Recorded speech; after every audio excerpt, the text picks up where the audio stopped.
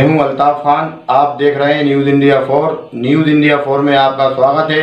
आइए नज़र डालते हैं इस वक्त की कुछ खास खबरों पर। विदिशा ज़िले की तहसील सरोन में वरिष्ठ कांग्रेस नेता एवं पूर्व नगर पालिका उपाध्यक्ष शोएब खान द्वारा कांग्रेस का सद्भावना कार्यक्रम उनके घर पर रखा गया, जिसमें सभी वरिष्ठ कांग्रेस कार्यकर्ता एवं नेतागण उपस्थित रहे, जिसमें सभी का सम्मान फूल मालाओं एवं साफा बांधकर किया गया।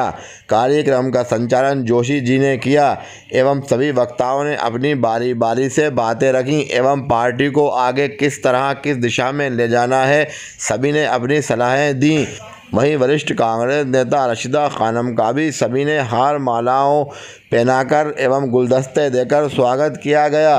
वहीं सबने रशिदा खानम द्वारा भोपाल में रहकर सरोंज के बारे में, राजनीति एवं सरोंज के लोगों के बारे में सोच रखने की तारीफ़ की। कार्यक्रम का संचालन जोशी जी ने किया। वहीं पूर्व ब्लॉक अध्यक्ष अंसार खान ने सभी का आभार व्यक्त किया। वो घटनाओं में देखते रहते हैं लेकिन हमारी मदद करते हैं और लोगों की मदद करने हम में से कोई नहीं जा पाता। हम लोगों को चाहिए कि रोड पे आए और सद्भावना की रैली निकालें घरों के अंदर बहुत बढ़िया बहुत बढ़िया और लोग जो नहीं आ पाए उन्हें भी बुलाएँ। तो एक संदेश जाएगा लोगों को पता चलेगा यहाँ सद्भावना कोई चीज़ होती है। इसी के साथ अपनी बात को नाम देता हूँ। कोई बात अगर भूल हो तो देखिए आज जो कार्यक्रम रखा गया है वो हमारे जो है एडवोकेट साहब ने और रखा तो संचालन तो उन्होंने किया रखा उन्होंने, लेकिन इसमें हमारे सभी भाइयों ने सहयोग किया कांग्रेसियों ने। और इसका मकसद ये था कि हमारे देश में और खासतौर से सिरोही नगरी में अमन और शांति बनाए रखें सबको। और इस सबके पास ये मैसेज पहुँचे कि किसी भी तरह हम नफरतों को आगे ना बढ़ने दें और प्रेम और के साथ, एक दूसरे के साथ रहें आज रंग पाँचे कल रंग पाँचे थी एकता और सद्भावना पर प्रोग्राम रखा गया, इसमें सभी समाज के लोग उपस्थित हुए। और ये संदेश मैं ये देना चाहता हूँ सिर्फ़ हैं गंगा जमुना तहजीब का टापू है। यहाँ सभी लोग मिलजुल के रहते हैं हमेशा। कुछ लोग जो है, कुछ लोग जो है, कुछ इसको माहौल को ख़राब करना चाहते हैं।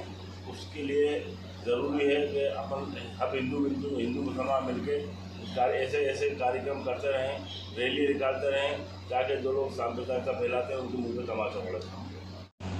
आज जो है हमारे कांग्रेसी शोएब भाईजान के घर पर सद्भावना का कार्यक्रम था और यहाँ पर जो सरोज नगरी है, आज से नहीं दिवाली काल से ही गंगा जमनी की तहरीर यहाँ पर रही है और हिंदू मुसलमान एक साथ मिलकर के हर त्यौहार को मनाते हैं।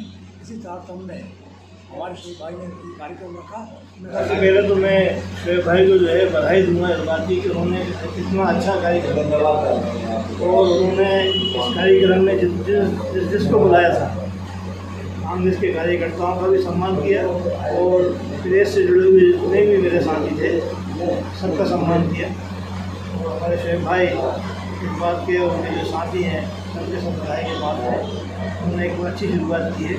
तो ये शुरुआत हमेशा आगे भी चलती रहेगी। मैं ऐसी उम्मीद करता हूँ। इंडिया फोर चैनल की अगर आपको खबरें पसंद आए तो हमारे चैनल को लाइक करें, शेयर करें एवं सब्सक्राइब करें।